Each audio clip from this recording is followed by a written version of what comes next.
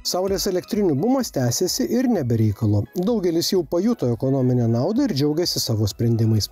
Jau ne pirmą kartą lankome sveiko gyvenimo būdą propaguojančių sportininkų šeimoje ir teiraujamės apie dar pernai rudenį priimtą sprendimą įsirengti Saulės elektrinę.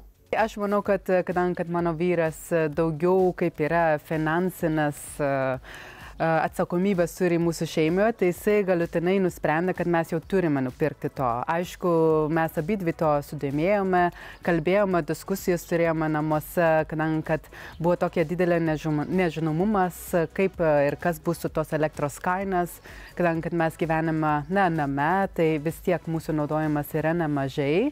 Tai galutinai mes jau to ir norėjom, abi dvi bet e, jis tada jau nusprendė, kad, nu, galutinai mes perkam šį mėnesį.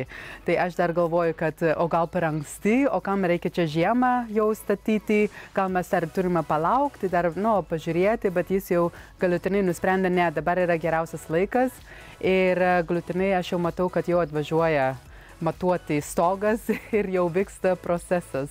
Bet aš labai džiaugiuosi, kad jisai tą nu, sprendimas priemė, nes aš manau, kad tai bus tik tai nauda mums ateitį. Ekonominė laisvė ta prasme, kad tai yra jau tavo sąskaitos mažesnės, tai jeigu tu mažiau išleidi, reiškia jau truputėlį daugiau staupai, daugiau staupai, tas tau sukuria laisvę kai tu turi ma mažiau išlaidų ir daugiau tos ekonominės laisvės, turi geresnę emocinę sveikatą.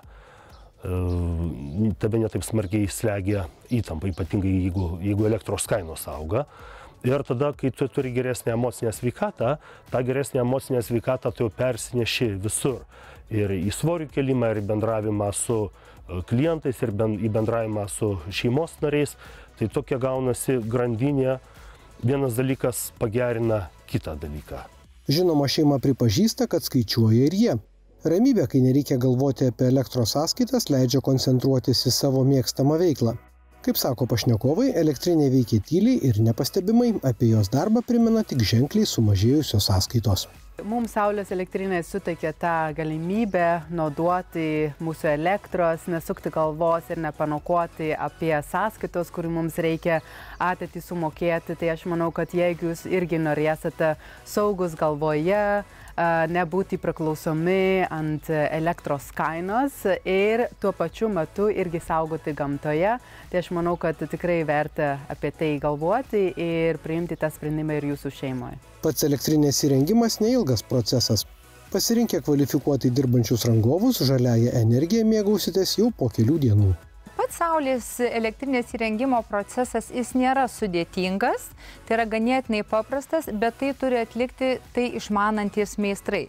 E, neužtenka tik tai parinkti teisingą saulės elektrinės galę ir kad pamatuosim, kad pagal plotą tiks ant jūsų stogo.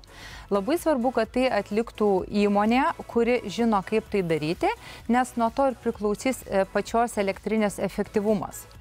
Mm, pastebime, kad kartai žmonės susigundo itin žemomis kainomis, bet klaidų taisymas e, kartais kainuoja, o ne kartais, o dažnai kainuoja ženkliai brangiau, negu iš karto padaryti gerai. Įmonė Surida dirba daugiau nei 25 metus, turime platų kolektyvą, daug specialistų, konsultantų, kurie atvyksta pas klientą į namus ir padeda įsirinkti geriausią, optimaliausią ir kliento poreikius atitinkantį sprendimą.